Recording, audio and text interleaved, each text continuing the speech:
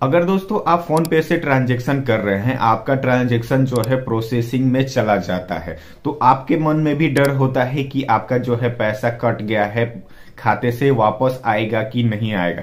तो पहला स्टेप दोस्तों, आपको ये करना है कि आपका जो खाता का बैलेंस है, वो चेक कर लीजिए। आपका कई, दो ही मिनट में आपका जो है पैसा रिफंड हो जाता है। अगर डेबिट होने के बाद आपका जो है बैलेंस जो है क्रेडिट हो जाता है। और दूसरा स्टेप करना है कि आपका जो जिस पे भेज रहे हैं, उनको भी एक स्क्रीनशॉट मंगा लीजिए कि उनके खाते पे या उनके फ़ोन पे पे पैसा गया है कि नहीं गया है। और तीसरा दोस्त दोस्तों मेन स्टेप है, अगर आपका बैलेंस कट गया है तो आपको सबसे पहला है डरना नहीं है, क्योंकि आपका जो पैसा है वो सेफ़ है, क्योंकि ये छोटा मोटा कंपनी नहीं है कि आपका थोड़ा सा पैसा लेकर अपना खुद बर्बाद होना चाहेगा। तो दोस्तों, सबसे पहले मेन है कि आपको डरना नहीं है, क्योंकि आपका दोस्तों मेन ये मकसद है कंपनी का कि आपका पैसा जो है ट्रा ट्रांजेक्शन का वो सेफ़ रहेगा और उसको रखा भी जाता है। तो सबसे मेन बता दें कि आपको दो मिनट में तो आपका पैसा नहीं आएगा।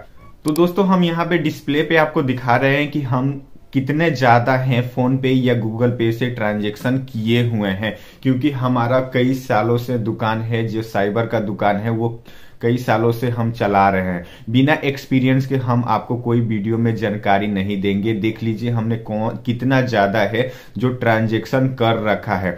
अगर अगर ऐसे होता कि हमारा पैसा फंस जाता तो हम इतना ज़्यादा ट्रांजेक्शन क्यों करते और क्यों आपको वीडियो बना के दिखाते कि इतना ज़्यादा ट्रांजेक्शन किए हैं हमारा पैसा जो है सेफ़ नहीं है तो हम इतना इससे ट्रांजेक्शन क्यों करते? तो हम आपको वीडियो में प्रूफ करके दिखा दे रहे हैं कि दोस्तों हमने ट्रांजेक्शन किया है, हमारा भी वॉलेट से पैसा कटा है, या खाते से पैसा कटा है और हमारा जो है रिफंड हुआ है। ऐसा नहीं है कि रिफंड नहीं हुआ, नहीं तो हम भी काम नहीं करते। तो दोस्तों, आप भी टेंशन मत लीजिए, आपका जो पैसा है रिफंड हो जाएगा।